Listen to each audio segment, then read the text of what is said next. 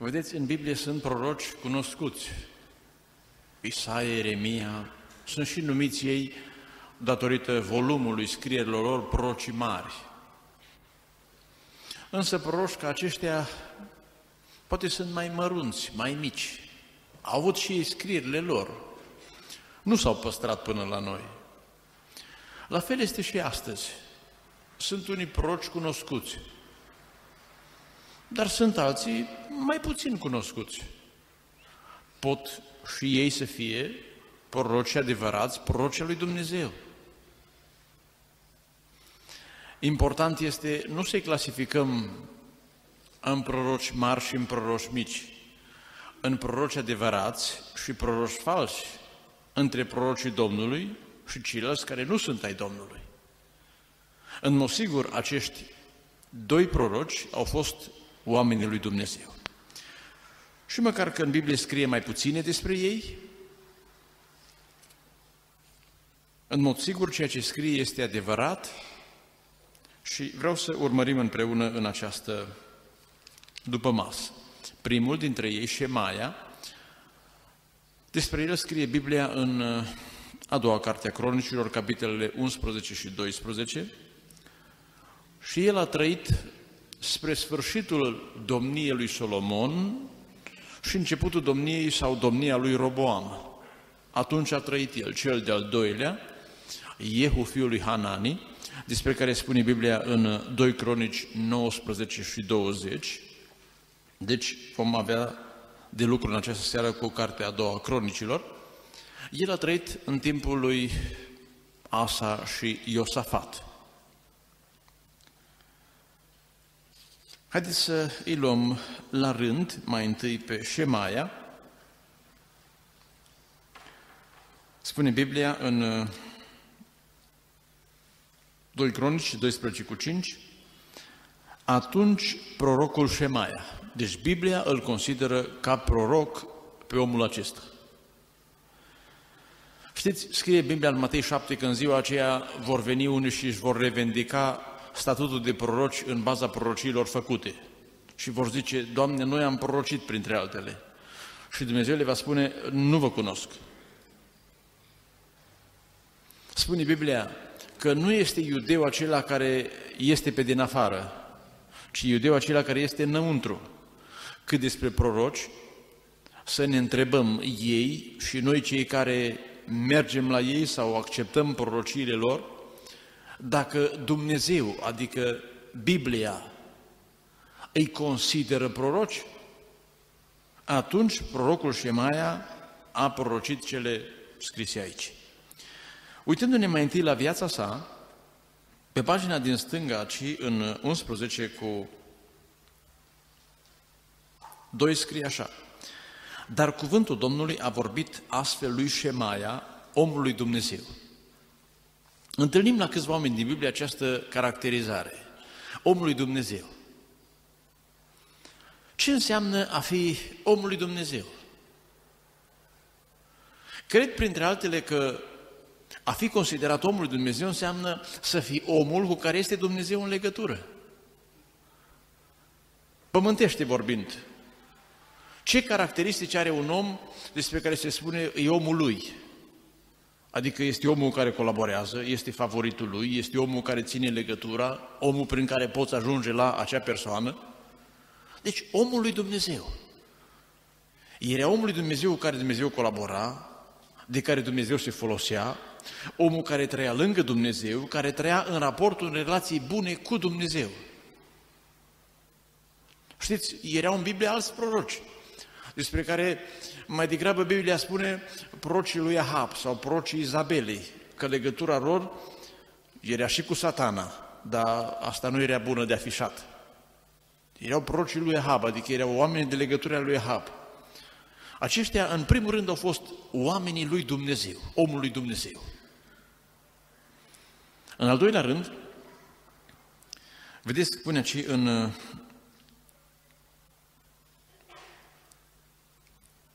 unsprezece cu doi, dar cuvântul Domnului a vorbit astfel lui Shemaia, omul lui Dumnezeu. Acest om al lui Dumnezeu, întoarcem uh, pagina 12 cu 5, faptele lui Roboam, cele din și cele de pe urmă, nu sunt scrise oare în cartea prorocului Shemaia și altui proroc. Deci el în viața sa, printre altele, s-a îndeletnicit cu scrierea istoriei de atunci. Vedeți cum scriu prorocii istoria? O istorie reală, o istorie sub călăuzirea lui Dumnezeu. Câte istorii nu sunt scrise în lumea aceasta? De exemplu, România are o istorie văzută de comuniști. Este o istorie mai naționalistă sau este o istorie văzută de partea maghiară. Aceste cărți scrise de proroci sunt o istorie sub prisma lui Dumnezeu. Aceasta este, de fapt, istoria reală cu care ne vom întâlni în final. Niște oameni care scriau istoria sub o călăuzire de sus, cu niște explicații, cu niște izvoare reale. Nu neapărat vom scrie noi cărți de istorie, dar sunt anumite istorii orale, ca și proroc, sau dacă vrei să generalizăm, ca om al lui Dumnezeu. Ce fel de istorie scrii? Ești un om al datelor reale, sigure, sau ești un om ușor? Îmi amintesc de un caz care îl cunosc. Cineva pretindea că are vedenii. Dar era un om al minciunilor, un om pe care nu puteai conta pe vorba lui. Și atunci se năștea întrebarea, poți să-i crezi prorociile dacă în viața lui este un om nu al adevărului? Acele istorii scrise de acești proroci, și este o linie a acestor proroci, vedeți, prorocul Shemaia, prorocul Ido, și apoi, întorcându-ne puțin în urmă, 9 cu 29, spune aici, cartea prorocului Natan, prorocia lui Ahia, descoperirea prorocului Iedo despre Roboam fiul lui Nebat. A existat această linie a prorocilor și fiecare avea aceste cărți scrise de ele, era o îndelenicire care le-a dat-o Dumnezeu în Vechiul Testament. Haideți să privim acum la lucrarea de prorocie acestui om al lui Dumnezeu. Apar trei prorocii în Biblie ale lui Shemaia. Să ne uităm la prima dintre ele, în capitolul 11, versetul 3. Cui este adresată aceste, această prorocie? Vorbește lui Roboam, fiul lui Solomon, și întregului Israel, deci conducătorului țării și întregului popor, sau mai exact, întregii armate care era adunat acolo. Conținutul prorociei. Versetul 4. Așa vorbește Domnul. Să nu vă suiți să faceți război împotriva fraților voștri, fiecare din voi să se întoarcă acasă, căci de la mine s-a întâmplat lucrul acesta. Spune versetul 1. Roboam venind la Ierusalim, a strâns casa lui Iuda și a lui Beniamin, 180.000 de oameni de frunte, buni pentru război, care să lupte împotriva lui Israel și să-l aducă iară sub stăpânirea lui Roboam. Deci, se dezbinase 10 împărății cu Ieroboam. Roboam a vrut să unească din nou țara și a mobilizat 180.000 de oameni. Și vine acest proroc al lui Dumnezeu ca un suprageneral și dă o poruncă toți să fie lăsați la vatră. Nu faceți război. A fost oricum un cuvânt nu ușor și într-un moment uh, foarte greu. Hai să zici că dacă era mesajul înainte, nu știu, a putut să fie și înainte, nu știu.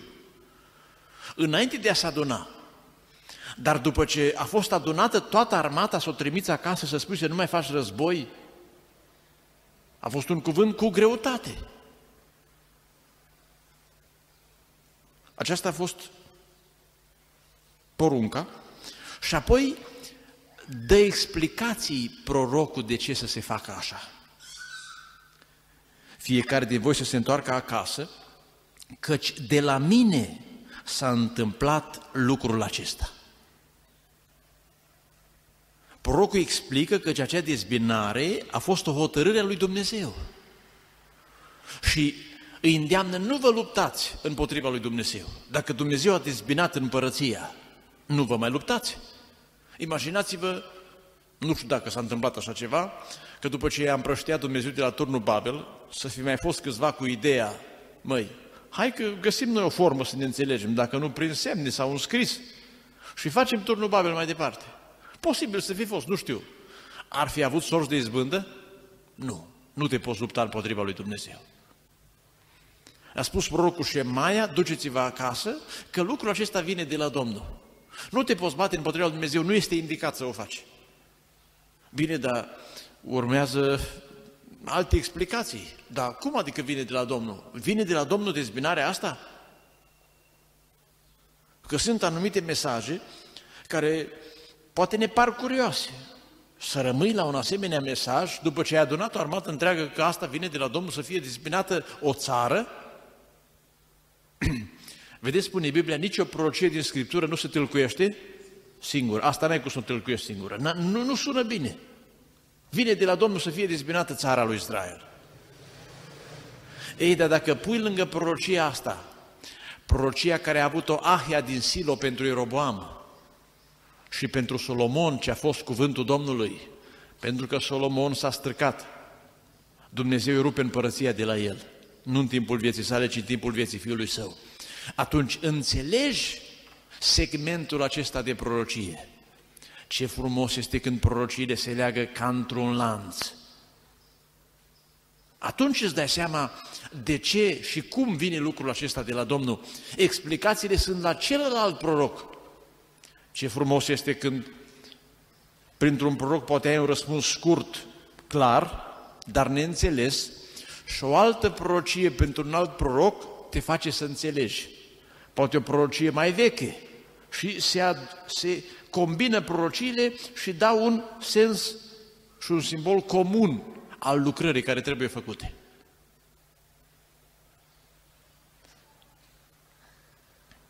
Cum au realizat și cum s-au raportat ei la această prorocie? Versetul 4, partea a doua. Ei au ascultat de cuvintele Domnului, s-au întors acasă și nu s-au mai dus împotriva lui Ieroboam. O armată întreagă a ascultat de mesajul lui Dumnezeu printr-un proroc. Și astăzi unii spun, de cum ascultă o biserică întreagă de mesajul unei prorocii? O țară trebuie să asculte dacă vine de la Domnul. Un, o lume întreagă. Au ascultat și s-au dus acasă. Bine a fost așa? În mod sigur, dacă mergeau pe front, erau învinși. În pustie le-a spus Dumnezeu la un moment dat, nu vă suiți. Da, ne suim. S-au suit și s-au întors bătuți. Nu te poți duce la război fără Dumnezeu. Iosia a fost om pocăit când a doua carte a cronicilor 35 a ieșit împotriva împăratului Egiptului și a spus împăratul, vorbind de la Domnul, nu ieși împotriva mea. Ăla nepocăit, ăsta pocăit să răzbui la război împotriva voii lui Dumnezeu și a fost ucis. Deci nu te apuca de o lucrare care nu vine de la Domnul și nu ți este dat să o faci. Ei au ascultat și s-au întors acasă. Asta le-a prins tare bine. A urmat, vedeți dumneavoastră, uitați-vă la acest capitol, de la versetul 13. Preoții și leviții, care se aflau în restul Israelului, au venit la Ierusalim. Și a urmat o perioadă de pocăință. Dacă te încadrezi în ce spune Dumnezeu, te simți bine în urmă. Și asta te ajută spiritual. Și a urmat pentru partea aceasta din Israel, adică cele două seminții, Iuda și Beniamin, o vreme bună de pocăință, de progres spiritual și chiar material. Urmează a doua prorocie a prorocului Shemaia. Capitolul 12, versetul 5. De data aceasta prorocia se îndreaptă către Roboam și căpetenile adunate la Ierusalim, cu conducerea statului Conducerea militară, din nou, și politică de atunci, are de lucru prorocul acum. Și apare aici, din nou, o prorocie foarte scurtă, dar clară. Apare mai întâi motivația și apoi concluzia. Voi m-ați părăsit. Și acum concluzia. Și eu vă părăsesc și vă dau în mâinile lui Șișac. Voi m-ați părăsit. Și acum vă părăsesc și eu. Asta le-a spus Dumnezeu.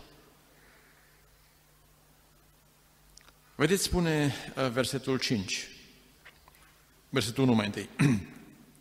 Când s-a întărit Roboam în domnie și a căpătat putere, a părăsit legea Domnului și tot Israelul a părăsit-o împreună cu el. Au fost pocăiți mai înainte, ascultau de mesajele care veneau de la Domnul, dar când s-au întărit în putere, și astfel de lucruri se întâmplă în viața noastră. Când îți merge bine, nu prea mai ai nevoie de Domnul, toate lucrurile te poți descurca singur să le faci, se întâmplă că oamenii părăsesc pe Domnul. A părăsit mai întâi pe Domnul conducătorul și după el tot, tot poporul. Normal, dacă locomotiva sare de pe linie, doar nu o să meargă vagoanele singure, măcar că scrie pe ele care e destinația. Tot poporul a părăsit împreună cu el. Și spune apoi, și versetul 14, ei au făcut lucruri rele pentru că nu și-au pus inima să caute pe Domnul. Gândiți-vă la acest verset. Spune Biblia că inima e de neznădăjduit de rea și înșelătoare. Nu lăsa după inimă, nu? Pune-o să caute pe Domnul. Că din nou pui la pocăință să caute pe Domnul, face ce nu trebuie. Zice, ei nu și-au au făcut lucrurile pentru că nu și-au pus inima să caute pe Domnul.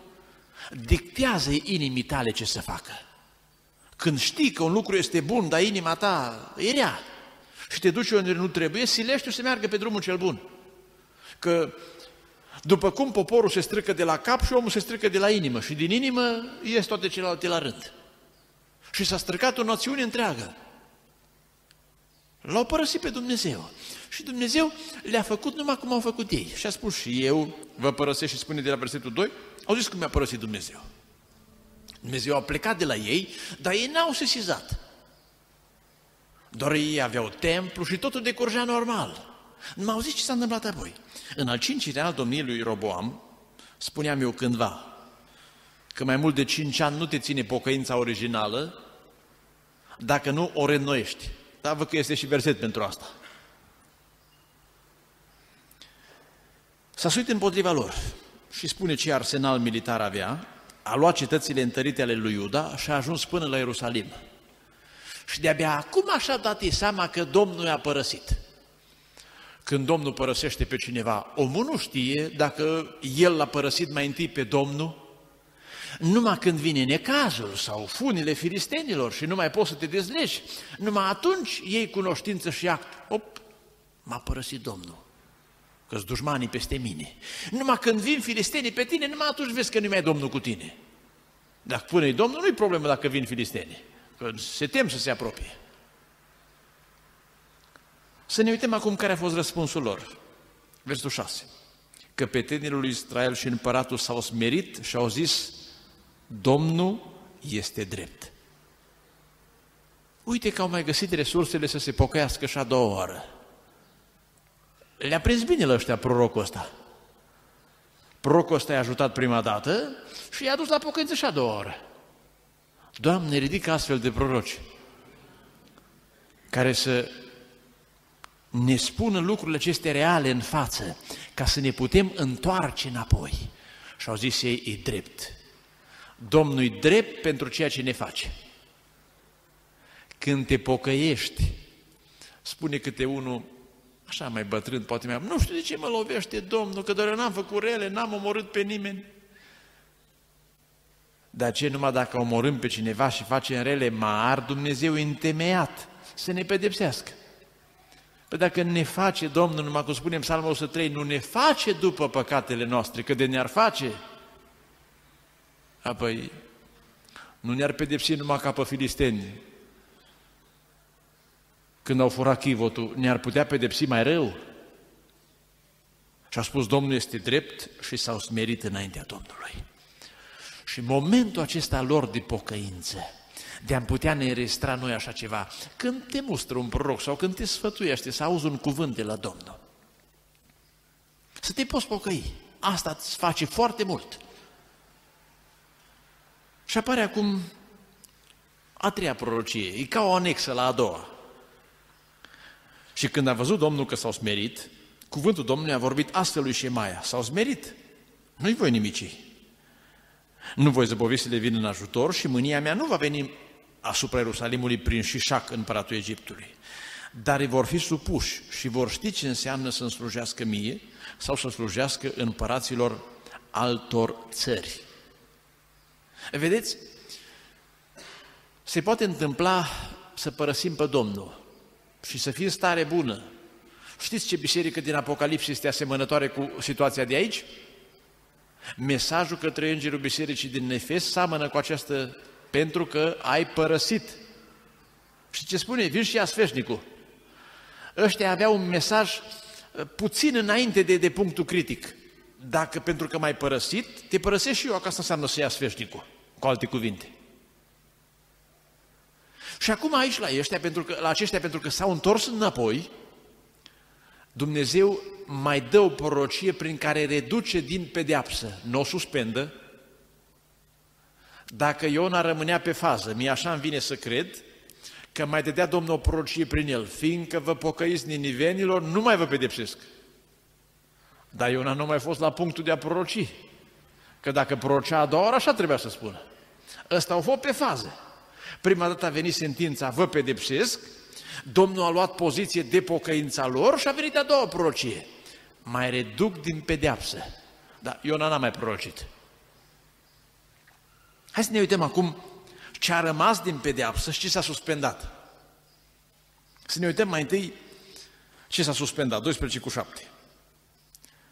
Nu va veni mânia mea asupra Ierusalimului prin șișac, adică nu nimicesc Ierusalimul de tot.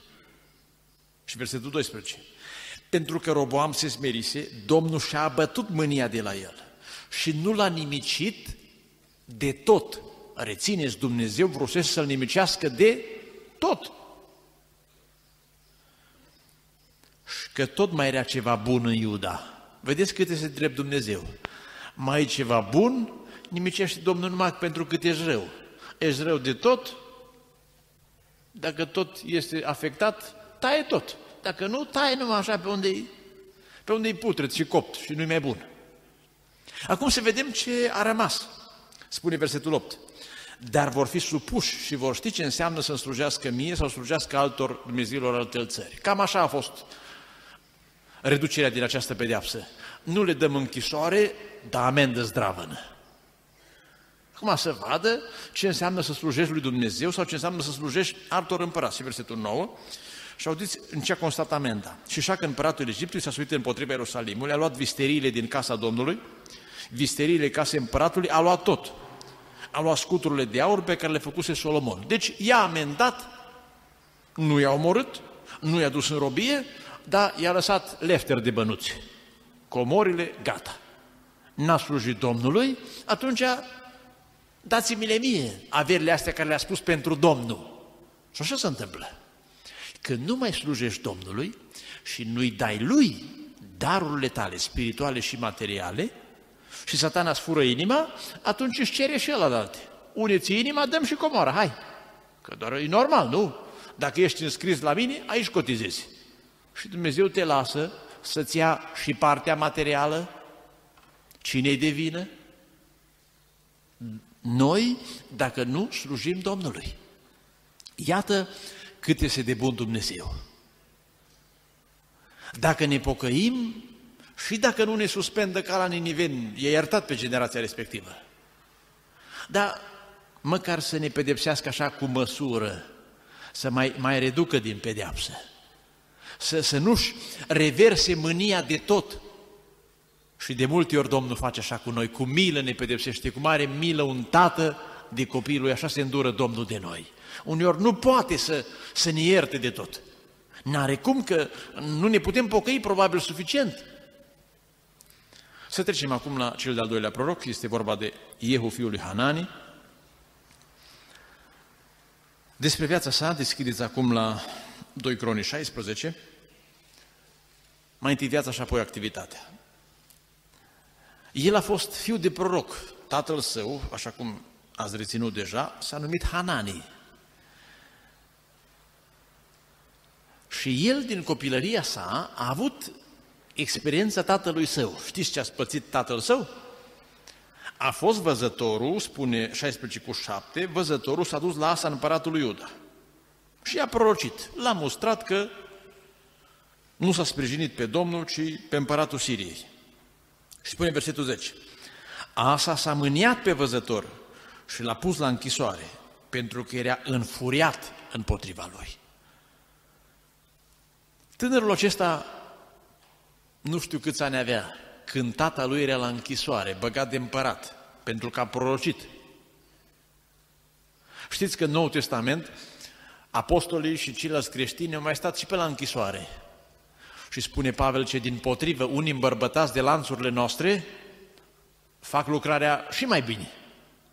Uitați, omul acesta conștient de ce înseamnă să fii proroc, având experiențele din familiile tatălui său, a acceptat să fie mai departe, să ducă această solie a profeției. Apoi, un alt aspect al uh, vieții sale, spune 20 cu 34, celelalte fapte ale Iosafat, cele din tâi și cele de pe urmă sunt scrise în istoria lui Iehu, fiul lui Hanani. Și prorocul acesta a avut o carte de istorie scrisă. Și sunt cuprinse în cartea împăraților lui Israel. Deci a trăit la curtea împăratului, ținând cont că atât Asa cât și Iosafat au fost oameni credincioși. Și a trăit acolo în anturajul împărătesc, fiind ca un consilier spiritual a împăratului. Și este bine să ai astfel de consilieri pe care să-i consulți în chestiuni spirituale, ba chiar în toate problemele vieții. Să ne uităm la prorociile sale, două scrise în Biblie. Mai întâi una în 1 Parat 16. Are o prorocie pentru unul nepocăit și una pentru unul pocăit. Una pentru împăratul lui Israel și una pentru împăratul lui Iuda. Deci mai întâi cea pentru împăratul lui Israel. 1 împărat 16. Și am putea o numi prorocia pedepsirii lui Baeșa. Acest împărat a fost un împărat rău. Spune versetul 2. Mai întâi este pronunțată sentința.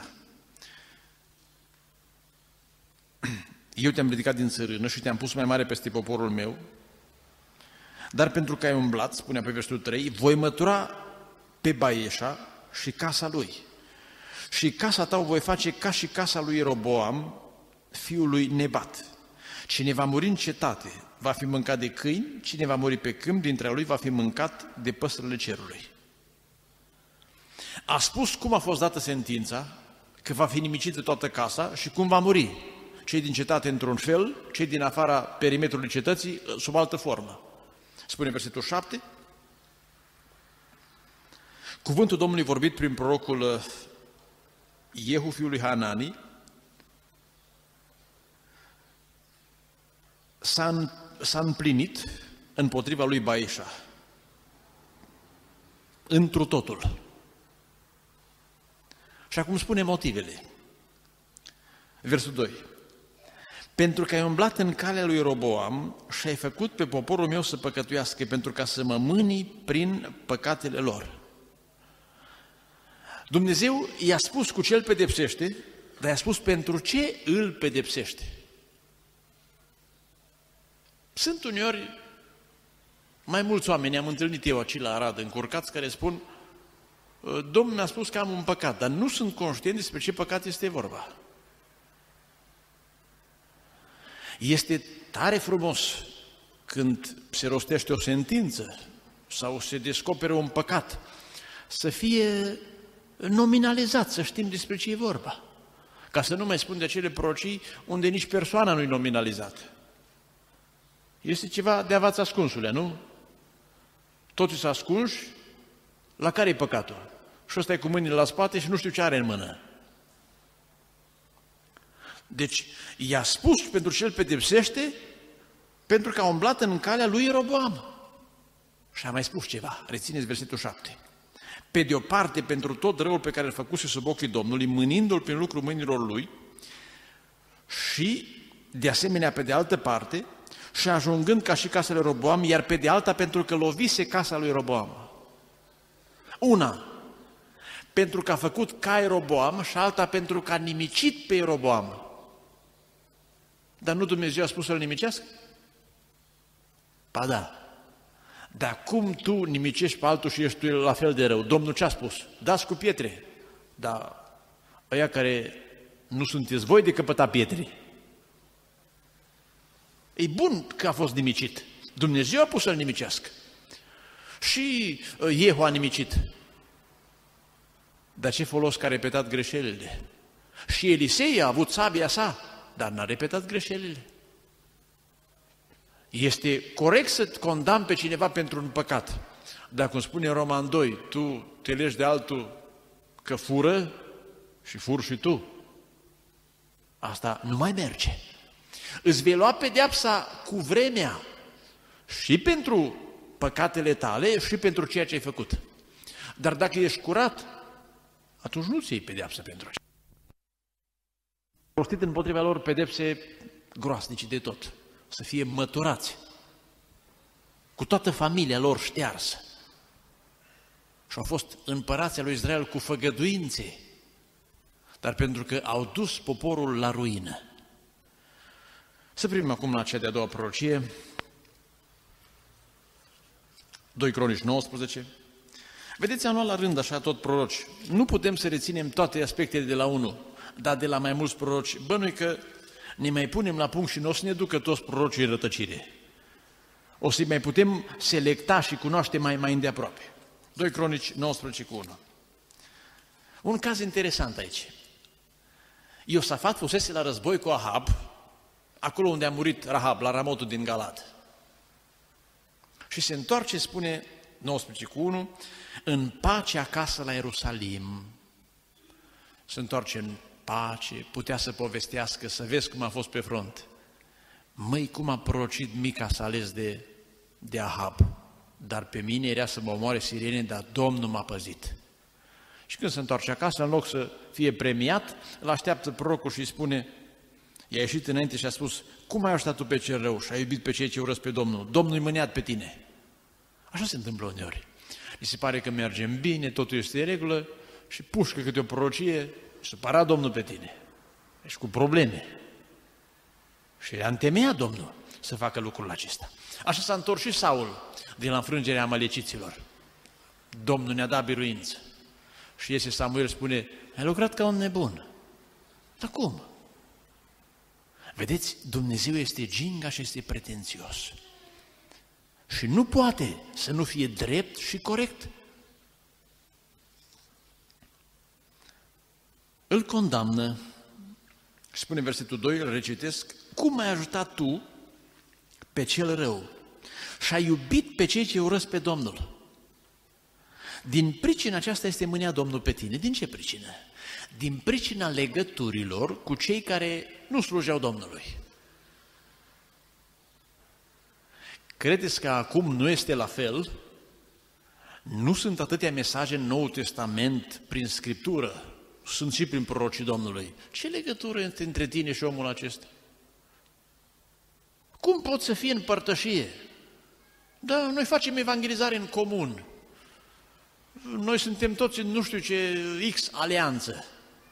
Da, alianță. Păi ce alianță mai apropiată decât regatul lui Israel împărțit în două? Doar nu era fi mai apropiată o alianță cu Siria. Alianță mai apropiată că asta nu putea fi. Ba să nu mai spunem că, pe urmă, putea să uh, motiveze și cu faptul, dar, dar suntem și rudenii pe deasupra. Și Domnul a fost supărat pentru asta. Rețineți, Iosafat, știți de ce a fost cu Ahab? Pentru că iubești pe cei ce urăsc pe Domnul. Nu vreun motiv militar sau vreun alt argument economic l-a mânat la această părtășie. Era el așa un bun și îl iubea pe Ahab. Uite că nu este bine să iubești pe cineva mai mult decât pe Domnul. Nu din iubire să spui, eu iubesc pe toți. Dar Dumnezeu iubește, ei iubesc pe Domnul Uite, nu este indicat aceasta. Și prorocul a ieșit în cale. Și știți cum s-a comportat? Împăratul aici? Cel puțin, din ce scrie, n-a zis nimic. Era un om ginga și o să facă ăsta. Nu a fost ca tată să o să spună la ăsta, știi celula în care o stat tată tău, încă n-am demolat închisoarea aia. N-a zis nimic. Dar uitați, prorocul și apreciază partea bună la Iosafat, că numai puțin era defect. Astăzi am văzut chestionarele de la cei de la botez și toți au luat de la 8 în sus și era acolo câte o întrebare greșită. Și spuneam, nu vă supărați, dar aici trebuie corectat, cam așa a făcut și Domnul aici. Îi spune versetul 3, dar tot se mai găsește și ceva bun în tine, căci ai înlăturat din țară idolii și ți-ai pus inima să caute pe Dumnezeu. Uitați cum a fost apreciat acest caracter bun al lui Iosafat și slujirea sa în Israel. Ca la bisericile din Apocalipsă. Uite, știu faptele tale, ai făcut misiune, îți place pocăința, numai că uh, aici bai. Acesta e un mesaj profetic dumnezeiesc. Pentru oamenii care sunt în, în proces de sfințire. Ei sunt albi în mare parte, da? Poate mai au ceva de, de, de, de, de albit, de retușat.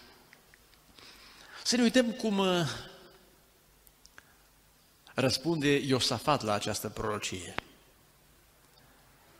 Am zis că a tăcut, dar când nu mă ataci și nu spui că roboam Domnului drept, uh, nu-i bine, că poate numai de politicos taci. Știți că a repetat greșeala? Întoarcem pagina. 20 cu 35, după aceea, după prorocia asta, mai târziu, și după fapte bune, evlavioase, în continuare.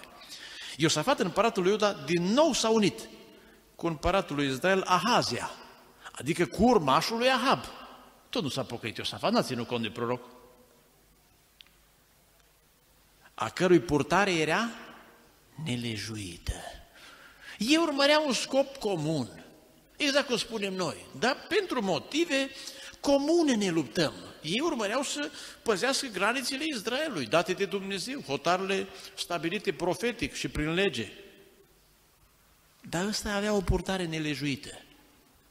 Și știți ce s-a iscat de aici, din această încuscrire, cum a trecut idolatria din Israel în Iuda și n-a trecut undeva peste graniță, peste gard, a trecut prin vamă, prin centru, cu acte în regulă, pe la împărăție. Așa s-au străcat lucrurile. De ce nu s-a putut face inversoare? Nu v-ați gândit? Măi, Ahab nepocăit, Iosafat pocăit. De ce, nu, de ce n-a, n-a instalat Iosafat în Israel slujirea adevărată? De nu poți. Mai sunt acum unele idei care spun că uh, trebuie să, să pocăim, să încreștinăm noi lumea. Noi nu vom încreștina lumea niciodată, dacă ne-am putea păstra pe noi. Sau dacă ne unim cu o altă biserică. Ce credeți? Dacă facem vreo convenție cu vreuna din bisericile acestea seculare, cu vremea ce se va întâmpla? Dar ce se mai întreb ce se, se întâmple? Scoatem noi crucile de la ei sau le bagă ei la noi? Păi, dar se vede, nu? Mai trebuie să vă lămuriți. Așa se întâmplă și aici. Ahab i-a vărât mortul în casă la Iosafat. Nu Iosafat i-a vărât chivotul la Ahab. Da, de unde? Avea Iosafat o cuscră pe Izabela, nu știu cum să înțelegeau când mergea în Samaria. Când se puneau la masă, nu știu ce mătănii făcea de ale ei din Tir și Sidon. Aceste legături sunt condamnabile pentru că au un efect siguranță negativ. Versetul 36. Prima dată Domnul i-a spus prin proroc, mă supărat pe tine, că te-ai unit cu ăla, dar l-a păzit pe front. L-a păzit, dar a doua oară tot așa a fost. Au zis numai. S-a unit cu Ahazia să zidească niște corăbii și să meargă la Tarsis. Și au făcut corăbii la Ețion Geber. Atunci Eliezer, fiul lui Dadov, a venit alt proroc. A prorocit împotriva la Săfaș și a zis, pentru că te-ai unit cu Ahazia, n-a mai zis ca primul Domnul mâniat pe tine. Domnul îți nimicește lucrarea. Prima dată numai ți-a transmis o, o un aviz, vezi că supărat pe tine, știți, ca țările când se bat, mai întâi numai transmite ceva că nu e în regulă, dar a doua dat cu bombe și domnul, nu știu de pe ce submarin i-a lovit corabelul ăsta. Și de s-au sfărâmat și n-au putut să se ducă la Tarsis. Așa-i, domnul. Prima te avertizează frumos, a doua cum facem noi copiii. Pune mâna pe nuieluță și te atinge. Dar numai așa vrem să precepem. Dar să știți că Iosafat a fost pocăit. Știți că s-a pocăit după asta? A rămas cu pierderea corăbilor. Deschideți la unul împărați. El s-a pocăit, dar tot a rămas paguba în copii. Dar el s-a pocăit până la urmă. Unul împărați 22 cu versetul 48. Împăratul a făcut corăbii să meargă la Ofir să aducă aur, dar nu s-au dus, căci corăbile s-au sfărâmat la Ețion Geber, alea despre care am citit dincolo. Și acum ce versetul următor. Atunci Hazia, fiul Ahab, a zis lui Iosafat, vrei ca slujitorii tăi să meargă cu, ca slujitorii mei să meargă împreună cu ai tăi pe corăbii, dar Iosafat n-a voit.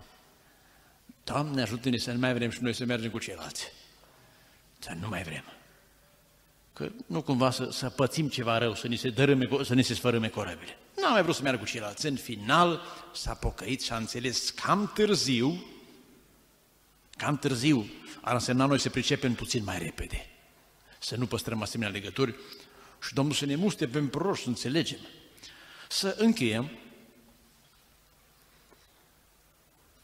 Am luat acești doi proroși pentru că din lucrarea la amândoi putem trage niște concluzii. Două vreau să tragem. Vedeți, se vorbește aici despre legături, despre relații. Am zis la Șemaia că e omul lui Dumnezeu. O legătură care trebuie să fie între Dumnezeu și proroc. Aceasta trebuie să fie o linie neîntreruptă, o legătură care să nu se strâce niciodată. Dumnezeu nu se lasă fără proroci, dar ca proroc te întreb, mai ai această legătură? Este în regulă colaborarea aceasta? O legătură care nu trebuie să fie afectată. Apoi, o altă legătură frumoasă aici. Împărat proroc sau conducere proroci. Sunt atâtea biserici unde prorocii sunt în opoziție. Și conducerea nu mai vrea proroci. Ce frumos a fost pe paginile Scripturii și în Vechiul Testament și în Noul Testament. Când nu-i biserica șchioapă de un picior, că temelia apostolilor și prorocilor. Dar uneori este șchioapă când sunt numai apostoli. Suntem doxă de învățătură și am rămas cu Ahitofel. E adevărat că Ahitofel avea valoarea unui proroc, dar Ahitofel uneori poate să se strâce și prorocul se strâcă. Dar prorocii lui David nu s-au străcat, dar Ahitofel s-a străcat. Și unele biserici au rămas numai cu teologie, fără proroci. E adevărat. Unii proroci vor să fie ei și conducători, și atunci au rămas fără partea cealaltă. Dar această legătură trebuie să fie, Doamne, dă între conducere și proroci. Să-i consulți, să aibă curajul să-ți iasă în față, pentru că astfel legătura Dumnezeu proroc să fie un triumf frumos, Dumnezeu proroc conducere. Și mai este o legătură care aș vrea să fie, că e binevenită. între conducere și popor. Dumnezeu s-a prezentat și a vorbit conducerii și poporului într-o împrejurare. În altă împrejurare numai conducerii. Ce frumos este când legătura aceasta există. Când suntem toți în legătură, vedeți, pe vremea trecută, mai exista legătura între popor și Ceaușescu, de exemplu? Nu mai exista. Nici nu aveai poate curajul, unii spun că el era dezinformat, Dar această legătură poate să fie și în biserică. O conducere ruptă de popor. Dacă e ruptă și de proroci și de Dumnezeu, e rău de tot. Biserica este reprezentată printr-un trup. Și ce frumos este când legăturile acestea există. Ce frumos a fost în Israel când n-au fost războaie civile. Ce frumos este în biserică când toți sunt una. E adevărat, dar conducerea nu uită că e scris în proverbe, când sunt mai mulți cap, să răscoală o țară, nu? Dar aș vrea să ne verificăm noi pe noi, la Betel, lasă pe alții, că au și ei oamenii lor și conducerea lor, robe altuia sunt sarcina altuia. Mai întâi noi, noi de noi. Să verificăm existența acestor relații. Prorocii cu Dumnezeu, prorocii cu conducerea și conducerea cu poporul. Uitați, aici în 2 Cronici 20 vă dau un exemplu de legături de genul acesta. 2 Cronici 20. A fost un război. Nu orice război, un război greu, o încercuire. Spune aici că au venit oștiri din Siria, din Moab, din Amon, din trei părți. 12 cu, 20 cu 3. În spaima sa Iosafat s-a îndreptat față să caute pe Domnul și a vestit un post pentru tot Iuda. Legătura între conducere și popor. Când ne-a spus la post, toți au trecut la post. Iuda s-a adunat să cheme pe Domnul, Iosafat a venit în mijlocul adunării și a început rugăciunea. Rugăciune frumoasă. Spune versetul 14. Atunci Duhul Domnului a venit peste unul în mijlocul adunării. Și a început să prorocească. Versetul 15. Ascultați, Iuda, Ierusalim și tu împărate. Nu vă temeți, mâine se câștigă bătălia. Știți ce, ce biruință a fost, nu? Nici nu au avut cu cine să se bată. Spune doar aici, uh, versetul 25, uh, partea finală, trei zile au prădat că cerea multă pradă. Și a patra zi s-au adunat să rostească binecuvântarea de mulțumire. Frumos a fost că au fost toți în legătură. Imaginați-vă că una din legăturile astea astea ruptă. N-aveau proroci. Tă posteau până, până slăbeau de tot și băteau ea urgent. Dacă nu era legătura între Iosafat și popor și nu-i aduna la post. Păi erau învinși deja. Toți păgubeau. Dar legăturile fiind, nu urmează decât Dumnezeu să-și facă lucrarea. Când toate căile de acces sunt bine puse la punct. Și cel de-al doilea concluzie care vreau să tragem în această seară este exact opusă. Trebuie să existe separări și dezbinări. Curios, Roboam a vrut să-i unească și a ieșit prorocul în cale și a spus, lasă așa că vine de la Domnul. Iosafat a vrut să unească cu Ahab, ești în cale și prorocul și a spus, îi supărat Domnul pe tine și e cu coaliția asta. Legături care trebuie să fie și legături care nu trebuie să fie. Astea să le tăiem, celelalte să le nodăm. Poate de unde nu le putem înnoda, că nu ne ajunge ața, că e legată dincolo. Trebuie luată de acolo și pusă din coace. Pentru că uitați ce spune aici mai departe, tot în capitolul 20. Despre Osafat.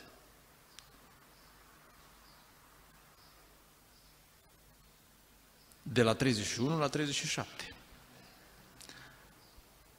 Cele din celelalte fapte ale lui Iosafat, cele din tâi și cele de pe urmă. Cele din tâi au fost de unire, cele de pe urmă nu, am citit noi din 1 Împărați 22. Și de aceea a avut de suferit, pentru că a făcut niște legături greșite. Vreau să rămânem încredințați cu doi martori se poate judeca un proces. Am luat doi proroci din etape istorice diferite. La Dumnezeu principiile rămân în timp, nu se schimbă. Dorim proroci. Dorim un Dumnezeu care vorbește și împlinește. Spunea Solomon în rugăciunea sa, Doamne, ce ai spus cu gura ta, împlinești azi cu puterea ta. Dar, mare atenție! Sunt legături care trebuie să fie și să rămână ca să putem funcționa bine împreună, strâns legați împreună. Dacă te-ai rupt de proroci și n-ai mai fost la proroci, e rău. Dacă de conducere ești rupt, e rău. Dacă conducerea ruptă de popor și de proroci și de Dumnezeu este rău. Dar dacă prorocii ne îndeamnă spre unitate cu altcineva, au fost cei 400 de proroci care ce spuneau lui Iosafat? Duceți-vă la război. Dar Mica n-a spus așa. Iosafat a fost omul care i-a plăcut prorocii și nu i-a abandonat. Chiar dacă uneori a fost lăudat prin proroci, cum a fost Elisei, și dacă n-aș avea în vedere pe Iosafat, a spus la nici nu m-aș uita, uneori a fost mustrat de proroci, dar i-a ținut aproape. Pe unii nu i-a crezut, i-a descalificat, dar pe alții i-a ținut și totul a fost bine. Domnul să împlinească și nouă ce ne-a promis, să lege legăturile care poate sunt slăbite, nu neapărat inexistente, poate slăbite în vreuna din aceste, între, vreuna dintre aceste entități. Să fie legate, ba strâns legate, spune în Biblie, strâns legate, iar cu cei care nu trebuie, spune Biblia, să nu aveți niciun fel de legături. Deci la unii strâns legate și la alții niciun fel de, de capete de ațe. Nimic. Ca să fim legați de Dumnezeu, lucrarea sfântă să fie unită, să aibă progres și cei răi să rămână pe din afară. Domnul să fie cu noi. Amin.